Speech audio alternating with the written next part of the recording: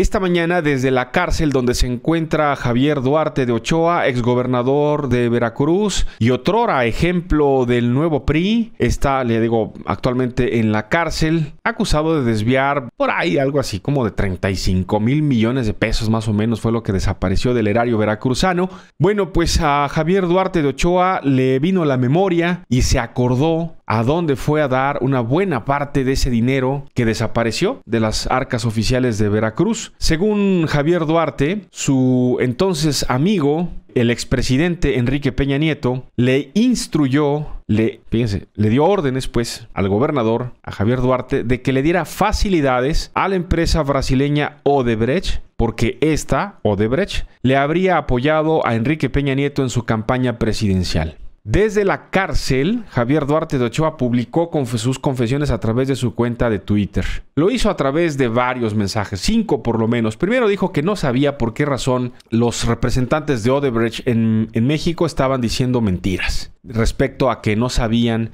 si el dinero se había usado, el de los sobornos de Odebrecht, habían sido usados para pagar campañas electorales. Y dice Javier Duarte en sus mensajes, para prueba un botón, en 2012, siendo ya Peña Nieto presidente electo de México, realizó una gira por Sudamérica y uno de los puntos que visitó fue Sao Paulo, en Brasil, donde estuvo en la casa de Marcelo Odebrecht. A mí, ahí me llamó vía telefónica, dice Javier Duarte, para solicitarme, instruirme, que acelerara todos los trámites y obras que el gobierno del estado de Veracruz tuviera pendiente para que Etileno 21 pudiera arrancar lo antes posible, ya que él tenía un compromiso muy grande con esas personas, por el apoyo que había recibido para su campaña presidencial. Tengo la disposición, dicen sus mensajes Javier Duarte, de declarar todo lo que me consta en este caso ante la autoridad correspondiente sin la necesidad de solicitar ningún criterio de oportunidad o beneficio alguno.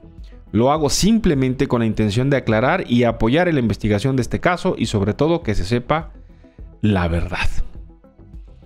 Pues eh, qué suerte tenemos los mexicanos de tener a, Javier Duarte, ¿no? Este, este hombre tan interesado en la transparencia y, en, la, en la rendición de cuentas. Convenientemente ahora se le vino a la memoria lo que le instruyó, dice él, su ex amigo Enrique Peña Nieto.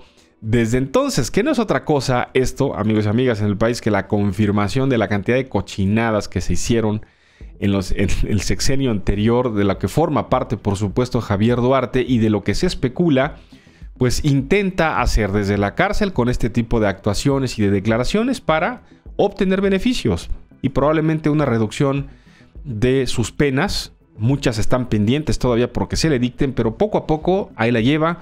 Le han ido regresando cosas, le han ido bajando acusaciones y penalidades y en una de esas pues nos, amanecemos con que el querido Javidú ha recuperado además de la memoria su libertad.